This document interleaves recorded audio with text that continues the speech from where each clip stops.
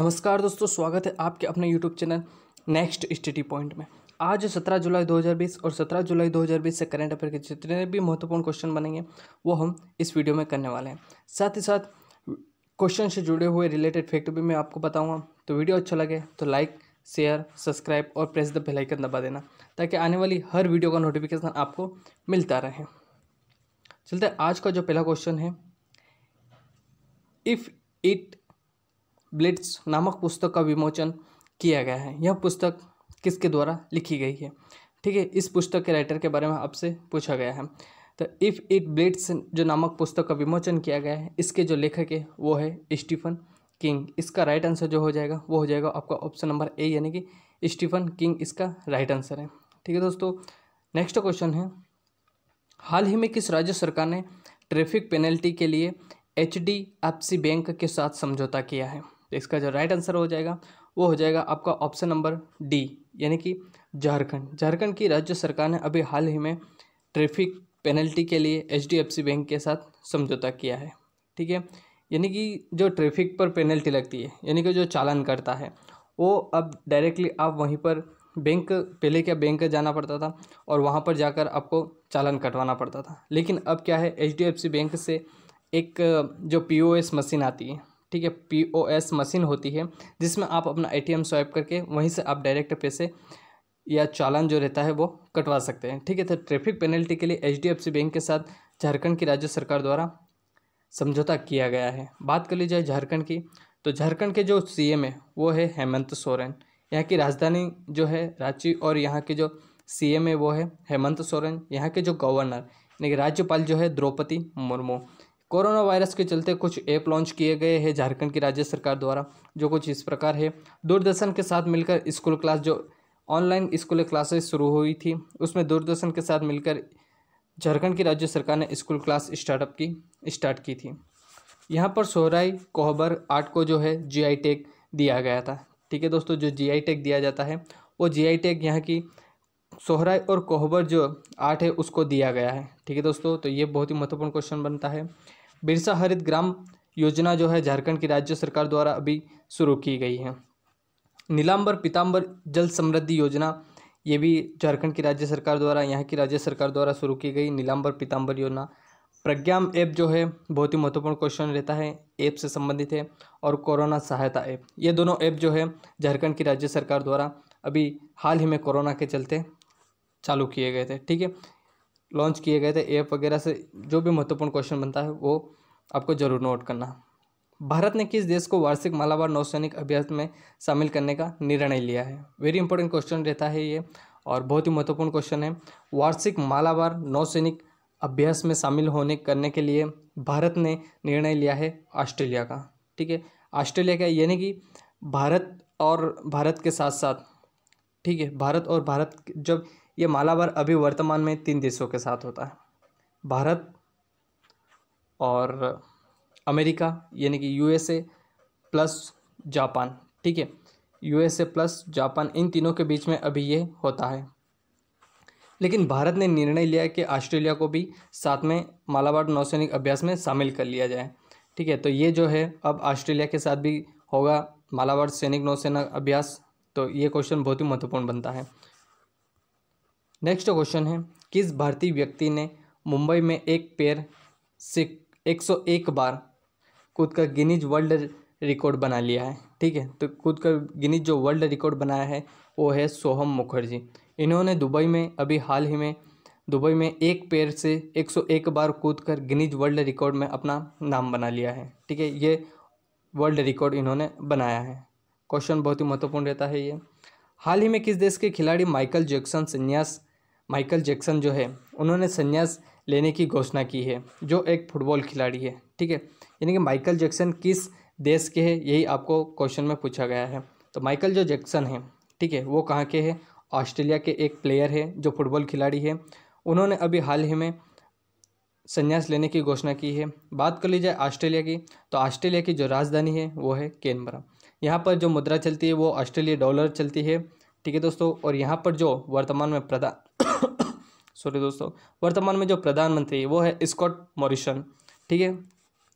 Next question बनता है, हाल ही में महामारी कोरोना संक्रमित के चलते किस राज्य की सरकार ने अपने राज्य के, अपने राज्यों को 31 जुलाई तक लॉकडाउन करने की घोषणा की है? यानी कि 31 जुलाई तक और अभी लॉकडाउन बढ़ा दिया गया है। तो इसका जो राइट आंसर हो जाएगा, वो हो जाएगा आपका ऑप्शन नंबर ए यानी कि बिहार।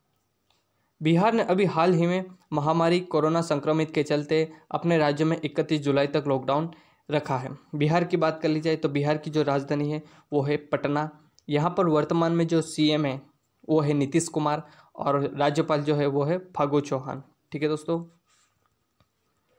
अगला क्वेश्चन है, हाल ही में भारतीय रेलवे ने एक नया रिकॉर्ड बनाया है।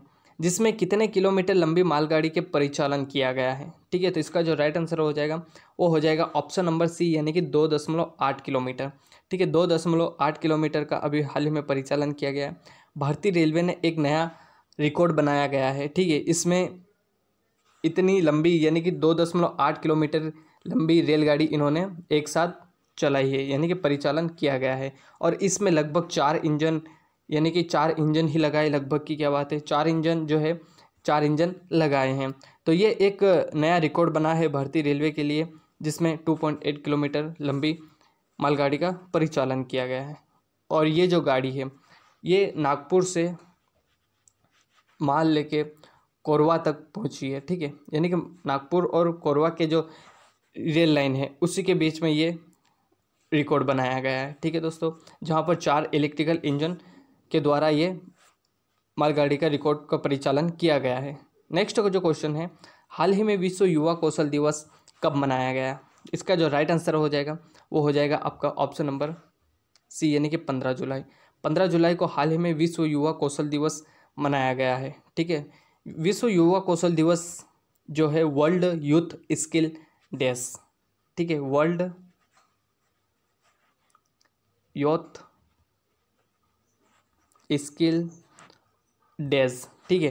तो ये जो मनाया जाता है, ये पंद्रह जुलाई को मनाया जाता है, जो तकनीकी प्रशिक्षण, तकनीकी के क्षेत्र में साथ ही साथ प्रशिक्षण और व्यावसायिक शिक्षा, इन सभी में जागरूक करने के लिए विश्व युवा कौशल दिवस मनाया जाता है, ठीक है?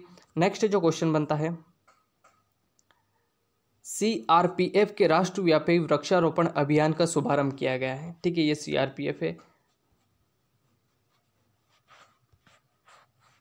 सी आर पी एफ़ के राष्ट्रव्यापी वृक्षारोपण अभियान का शुभारंभ किया गया है। ठीक है तो इसका जो शुभारंभ वो किसने किया गया?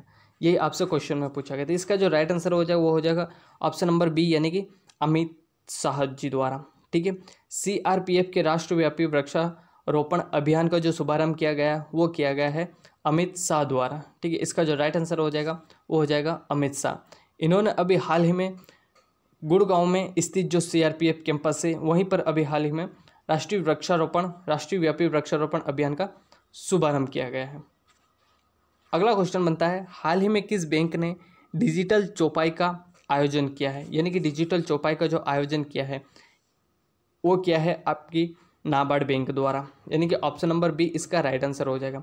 नाबार्ड बैंक है, इसके द्वारा अभी हाल ही में जो है डिजिटल चौपाई का आयोजन किया गया है। ये जो नाबार्ड की अपनी स्थापना दिवस है, ठीक है, नाबार्ड की बात कर ली जाए तो इसकी स्थापना जो नाइन्टी एट यानी कि उन्नीस सौ बयासी में हुई थी, ठीक है। तो नाबार्ड जो है, इसने अपने उनचालीसवा जो स्थापना दिवस आया, यानी कि अभी हाल ही में उनचालीसवा जो स्थापना दिवस था, इसी पर डिजिटल चौपाई की स्थापना कर दी गई है, ठीक है, डिजिटल चौपाई की स्थापना करने का आयोजन किया गया है। यानी कि जो नाबार्ड की स्थापना कब हुई थी? उन्नीस सौ बयासी में। ठीक है, नाबार्ड की फुल फॉर्म का अब बहुत ही नाबार्ड की जो फुल फॉर्म है, वो होती है national bank for agriculture and rural development. ठीक है, नेशनल एग्रीकल्चर, सॉरी दोस्तों, national bank for agriculture and rural development. ठीक है रूरल डेवलपमेंट ये इसका फुल फॉर्म होता है, जिसकी स्थापना उन्नीस सौ बयासी में हुई थी। ठीक है दोस्तों, कब हुई थी? उन्नीस सौ बयासी में हुई थी जिसकी स्थापना 1982 में। और इसका वर्तमान में जो मुख्यालय है, वो है मुंबई में। और वर्तमान में जो इसके चेयरमैन है, वो है गोविंद राज चित्रान चित्रान, ठीक है? इसके जो वर्तमान में चेयरमैन है, वो गोविंद राज चिनराल है, ठीक है? नेक्स्ट क्वेश्चन बनता है हाल ही में बांग्लादेश में भारत का अगला राजदूत किसे नियुक्त किया गया है? वेरी इंपॉर्टेंट क्वेश्चन बनता है राजदूत से, और यहाँ से मैं चार अब फैक्ट आपको बताऊँगा। हाल ही में बांग्लादेश में भारत का जो अगला राजदूत है, वो नियुक्त किए गए हैं ऑप्शन नंबर डी यानी कि विक्रम दुराई सवाई ठीक है दुराई स्वामी ठीक है तो अभी हाल ही में जो दुराई स्वामी जी है, इन्होंने बांग्लादेश में भारत का अगला राजदूत के रूप में पदभार संभाला है। बात कर ली जाए यहाँ पर चार फैक्ट की। तो विक्रम दुरासवाई जो है बांग्लादेश के अगले राजदूत बने हैं। और जो रुद्र टंडन है, ये अफ़गानिस्तान के हैं, ठीक है? अफ़गानिस्तान के जो है अगले राजदूत बने हैं। जो भारत की तरफ़ से राजदूत नियुक्त किए गए हैं विदेशों में तो अफ़गानिस्तान के लिए किए गए रुद्र टंडन और बांग्लादेश के लिए किए गए विक्रम दुरासाई हेमंत कोटवाल जो है, हेमंत कोटवाल को अभी हाल ही में चेक गणराज्य, जो चेक गणराज्य देश है वहाँ पर भारत का अगला राजदूत नियुक्त किया गया है, ठीक है? और विद्यु नायर जो है विद्यु नायर जो है, इन्हें तुर्कमेनिस्तान में किया गया है, जो कल ही, कल के वीडियो में मैंने आपको बताया था। विद्यु नायर जो है, तुर्कमेनिस्तान में भारत के अगले राजदूत नियुक्त किए गए हैं, ठीक है? तो इन चारों के बारे में आपको पता होना चाहिए। अभी हाल ही की घटना है, विक्रम दुरासाई जो है बांग्लादेश से संबंधित है रुद्र टंडन। रुद्र टंडन की बात कर ली जाए तो ये अफ़गानिस्तान से संबंधित है और हेमंत कोटवाल जो है, हेमंत कोटवाल जी को अभी हाल ही में चेक गणराज्य और विद्यु नायर को तुर्कमेनिस्तान में भारत का अगला राजदूत नियुक्त किया गया है। वीडियो अच्छा लगा हो तो दोस्तों लाइक शेयर सब्सक्राइब और प्रेस द बेल आइकन दबा देना ताकि आने वाली हर वीडियो का नोटिफिकेशन आपको मिलता रहे। जय हिंद, जय भारत, मिलते नेक्स्ट वीडियो में।